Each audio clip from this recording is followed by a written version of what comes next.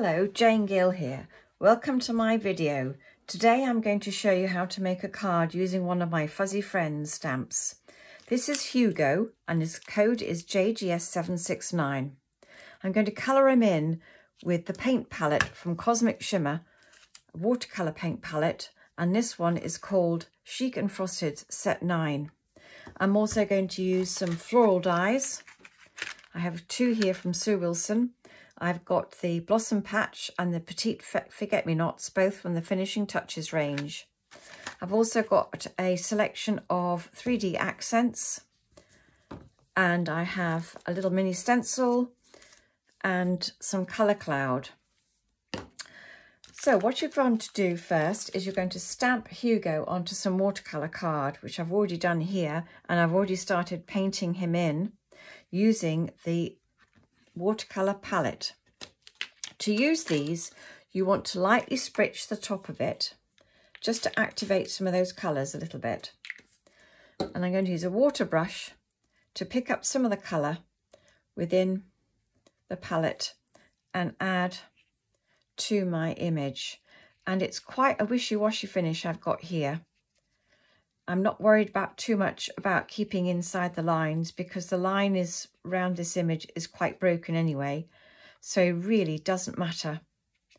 So keep adding a bit of colour here and there, blend it in with some water. Lots of water is required on here. You're working on watercolour cards, so it's nice and easy to use. And the idea is that it just all bleeds and blends together. Just make sure that there are no little white gaps. Take a clean brush with some water and just blend those in just in case you've got any little white gaps. Don't worry about any fuzzy areas because that's the whole point of the look. A little bit more colour to the centre of him.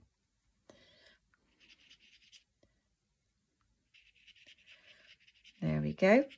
Now, ideally, you need to leave that to dry uh, but I know his face is dry and I'm just going to take a couple of alcohol pens to colour in his features. So a little bit of yellow for his beak.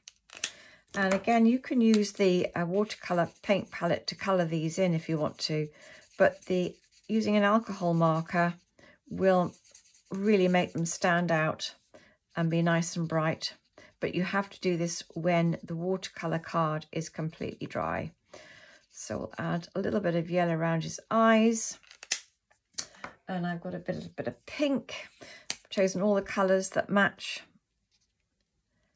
the paint palette. And a little bit of purple to colour in these dots. Now my card is probably not terribly dry, but still going on okay.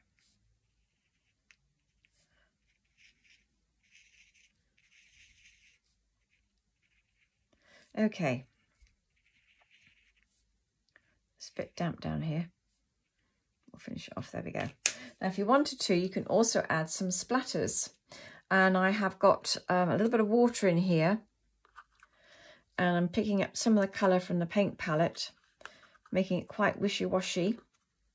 And I'm going to splatter Hugo. I'm going to put a bit of kitchen towel down just to catch the splatters.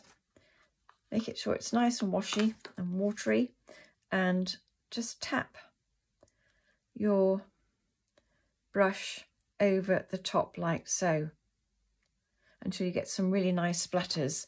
And here's one I have finished. So as you can see, you've got the splatters here. Some of them are still taking a little bit of time to dry. So once he's dry, you're going to mount him onto some coloured cardstock. And I'm going to be using the foundations card from Creative Expressions in Rich Plum. I've also stamped his um, the greeting from the, the stamp set and that needs to be painted as well. So let put all those things to, to one side to dry and I'm going to show you how to do the little flowers. So I've die cut a lot of flowers from the watercolour card and I have put them onto a piece of kitchen towel and I'm painting them with the watercolour palette. Any colour you like. And I prefer to paint them once they're die cut so that when you do paint them like this, you colour all around the edges of the die cut. So it's completely covered in paint. Now those have to dry before you can shape them.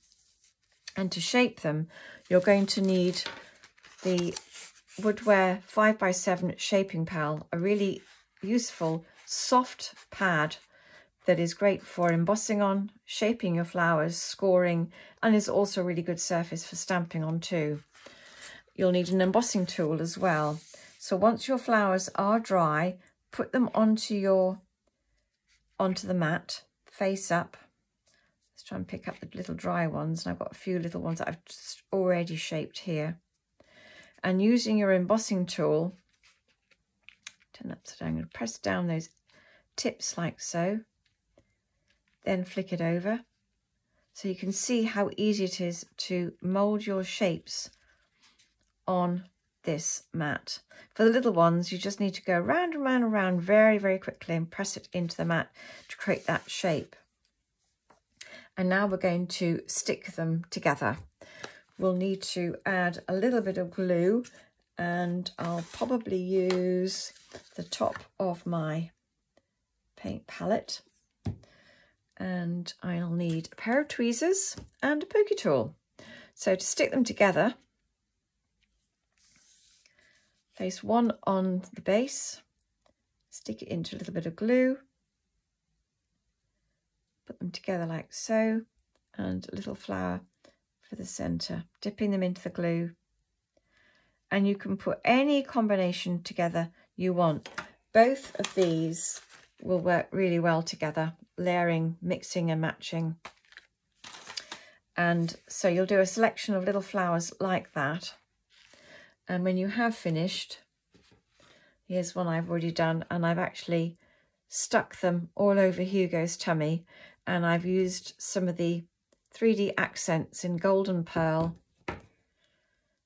some Decadent Wine and a little bit of the uh, Cosmic White to uh, decorate the flowers in the centres and you will see the stenciling around the edges using the mini squares from the mini stencil range and that's all been done with a colour cloud blending ink and a smoothie.